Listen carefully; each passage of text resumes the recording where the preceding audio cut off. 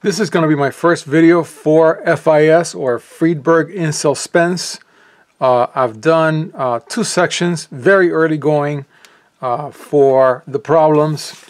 Uh, also, I have read the first three sections, so I actually did the first two, read the third. Uh, then also uh, worked on Appendix E, which was very long, took forever to, to work through. Now, for this particular book, I am going to log theorems because this is a theorem based book. And so I'll have counts, not just of the problems that I did, which were 30, but also of the theorems that I did out of those 30, which is 11. So the total is, is, is the same because it's the very first video going out November 13. And there are your uh, 11. Actually, th that count is wrong. It's actually 16. I'll correct that after the video because the there were five exercises in Appendix E that I also did. So I, uh, I will start with the book. Uh, now, of course, this is a very different treatment than Anton, Anton being an applied book. Yet this book also, uh, one thing that I really like about it, it also has easy problems. Now, being a second uh, linear algebra book that I will do, it would have been tempting to only pick and choose the parts that are different from what I've already done and only do those. That's not what I want to do because I love repetition and I think it's actually going to help me. So I am planning to go through the whole book and I'm actually planning to attempt every single problem, every single proof. I think so. Maybe I'll change my mind, but uh, this great book must be enjoyed. After all, this is my hobby, so why not? Uh, just showing the, the front matter of the book, of course it goes straight into vector spaces, but I'll head back to Appendix E. Now, Appendix E is way out of order for what this book is doing, but I feel like my that my polynomials work is lacking, and, and I, I saw through all the appendices, and there's only uh, the fundamental theorem of algebra proof I want to go through when it comes into the book. So this could be like chapter four for all I know. I don't really know, but also, um, yeah, I went through Appendix E. It's a little out of order uh, because it's chapters five, six, and seven, which is later in the book. But the beauty of doing a second uh, round of uh, linear algebra is I literally can go anywhere in the book and uh, and I'll I'll kind of know what what what is being discussed. I tried all the proofs and I'll show them in my uh, write-up.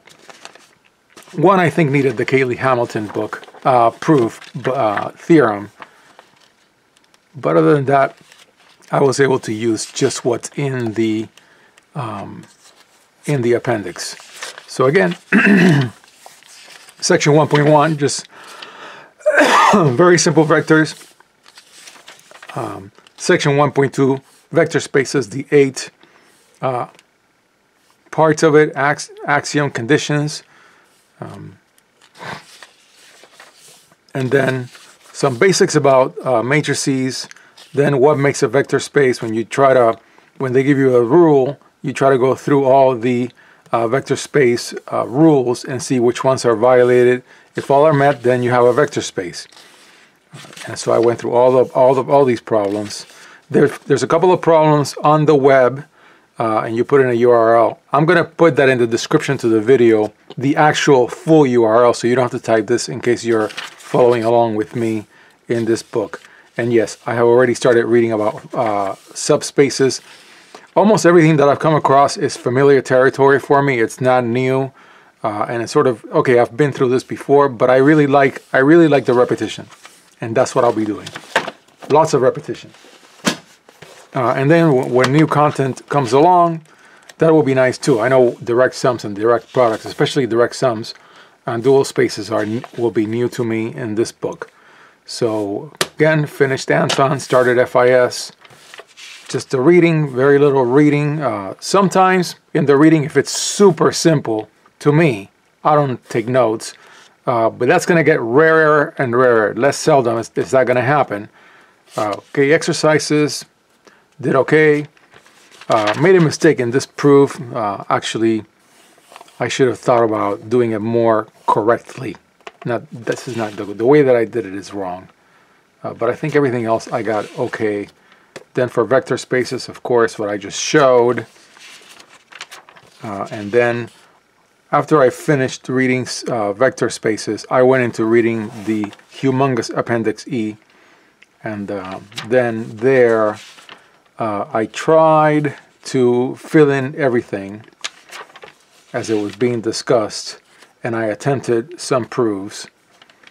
Uh, and I think I did them to my satisfaction. Very interesting how all this polynomial work is really the Euclidean algorithm for number theory. So there's this linkage to number theory when I was looking through. Uh, this might as well be a section out of a number theory book with everything, instead of being polynomials being divided, it's really just uh, modular arithmetic. Um, couldn't figure out this problem. I tried to uh, piece it together. I'll come back to it. I know for a fact, I don't remember doing this, this exact type of problem in Anton where you're given four polynomials and then you're supposed to uh, come up with a basis for them and then express them with uh, factors of uh, other polynomials. I just sunk my teeth into it, couldn't, and I did not want to divert myself too much by actually going through all of Anton to find out if I did a similar problem. I don't remember that. So I, I'm just making a note here that this is a hole that I need to fill later. Attempted more theorems as uh, that were new. I mean, there are exercises in the in the uh, in the appendix. They're not explained in the appendix, but some, like this one for, for, for sure, comes from the appendix itself. And sure enough, the last theorem is really unique factorization uh, theorem for polynomials. this is the exact same theorem as in number theory for the unique factorization of a natural number into its uh, um, primes, into primes.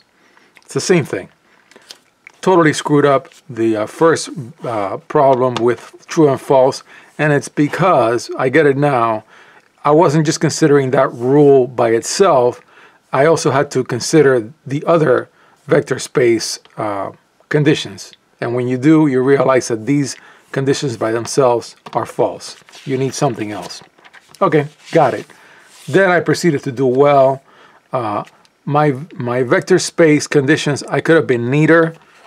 So, but I, I got I got okay by the third one. Of course, this is very simple matrix algebra. I should do fine, of course. Uh, and then when it came to uh, saying whether something was a vector space or not, I got them all right, um, which is great. Of course, this uh, how many matrices can you do with Boolean 0 and 1? It's for an m by n, it's 2 to the m times n. Yeah.